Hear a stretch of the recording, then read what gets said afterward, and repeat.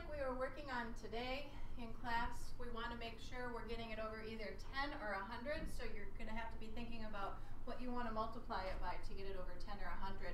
I'm looking at 4 fifths, and we want to subtract or change it to something over 10. And in this case, we're going to multiply it by 2 over 2. I'm just going to write it off to the side a little bit. 5 times 2 would equal this 10. 4 times 2 would equal 8, so our, we need 8 tenths, and then as you're shading in these bars, you want 8 tenths of them. 1, 2, 3, 4, 5, 6, 7, my smart board's a little off here, and 8. 8 tenths of them should be shaded. The next one, you've got 3 fourths, and you need to multiply that by something, or some of you might be even saying, hey, 1 fourth, that's like one quarter of a dollar. One fourth is the same as one quarter. Or in, oh funny, yours, my book says uh, three fourths, yours says one fourth. We're going with yours. If yours is one fourth, yes, that's the same as 25 cents. Or if you want the fraction way, you can multiply it by 25 over 25. 4 times 25 is 100. 1 times 25 will be 25 and we can write that as 25 hundredths. The decimal's already there for you. And then you need to shade in 25 hundredths. So you need to shade in two of these. There's your two tenths, and then your five hundredths. So you need the little five of these little boxes. Two, three, four, five. 25 hundredths for that one. Uh, the next one is 5 25ths on that one. Uh, I got to stop looking at my book and just look at this sheet. 25 times 4 again, that's what we want. Well, I guess the other one was 4 times 25. Now we've got 25 times 4 is 100, and uh, 25 times 5 is that one? No, I'm at 4 times 5, sorry. 4 times 5 is 20. So I want 0.2 or 0.20, 2 tenths or 20 hundredths. So that means I need two of these if I'm going to leave it at 2 tenths. Well, either way, 2 tenths is the same as 20 hundredths. So two whole boxes on that one. The next one, 1 25th, we're going to do the same thing. 4 over 4 for this one. 25 times 4 is 100. 1 times 4 is 4. So we have 4 hundredths. If I write it like this, I've actually got four tenths. That's not what I want. I want four hundredths. So if you remember, you need to put that zero in there.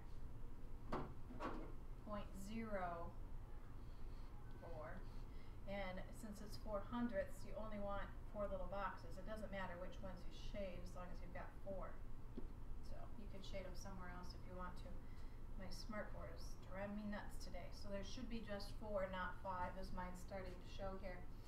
4 fiftieths. On this one, you're going to want to multiply it by 2 over 2. 50 times 2 is 100. 4 times 2 is 8. I can write out 2 over 2 if I need to. Sometimes you can just, most of the time, you're just going to do this mentally. But for this, we'll do it the, the, right, the long way. 8 hundredths, don't write 0.8, that's 8 tenths. We want it to be 8 hundredths, so you need that 0 in there. And 8 boxes. You can start anywhere you like.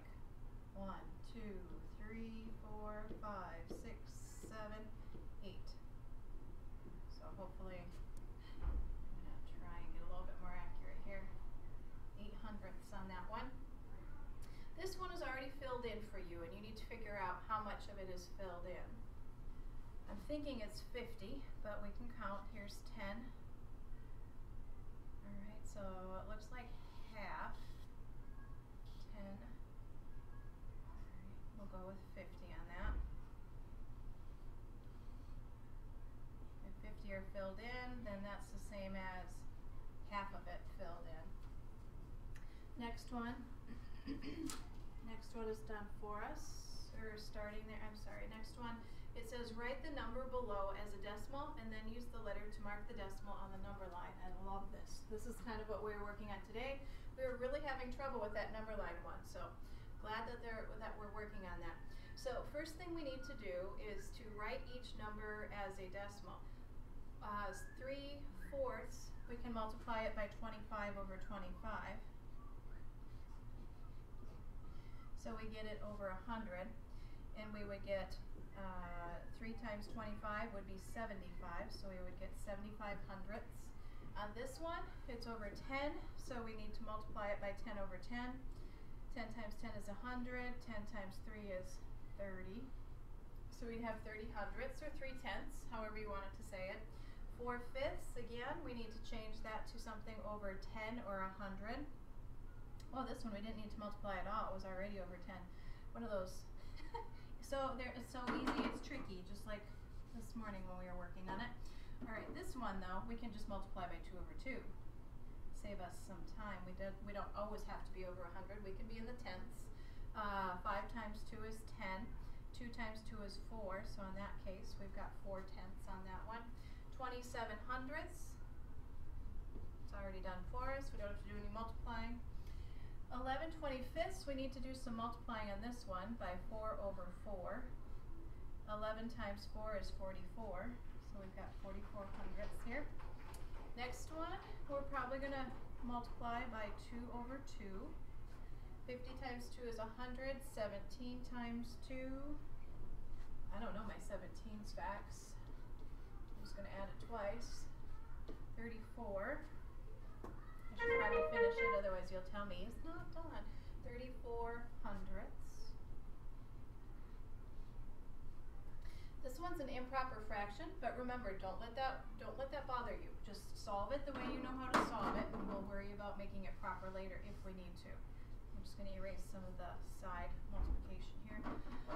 Uh, six fifths. Again, we can just multiply it by two over two. Five times two is ten.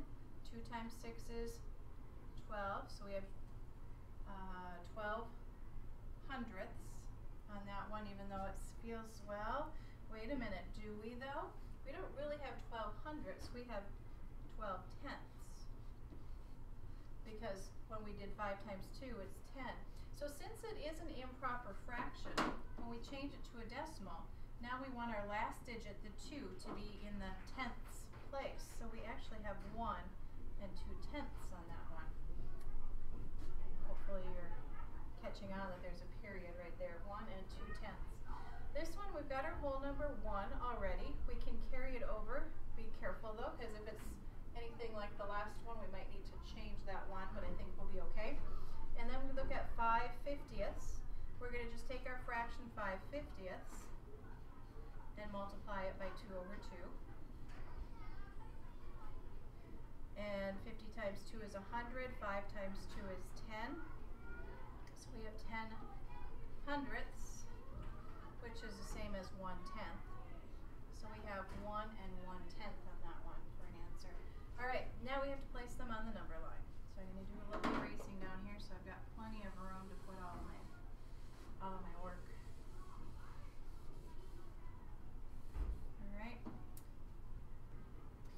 Before we do our number line, this one over here is kind of bugging me because I'm looking and thinking these shouldn't both be filled, the corner ones. So I think we're gonna have to actually count each little square just to be sure because it's kind of, I think it's, I don't think we got quite what we want here.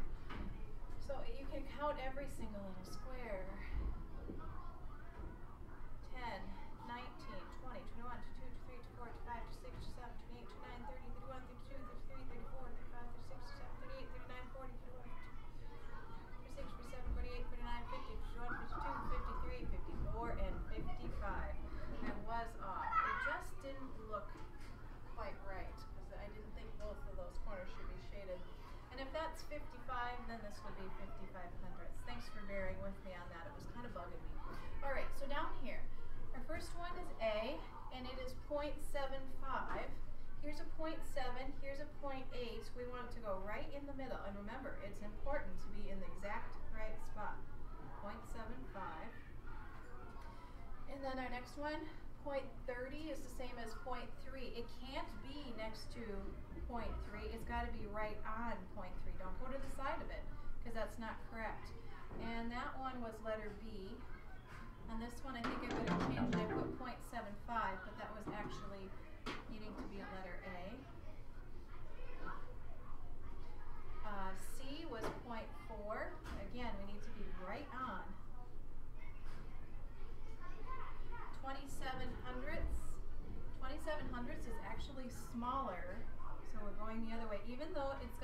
Digits, remember, two in the tens place makes it smaller. So twenty-seven hundredths is gonna be kinda close to three, so it's gonna be between twenty-five and thirty.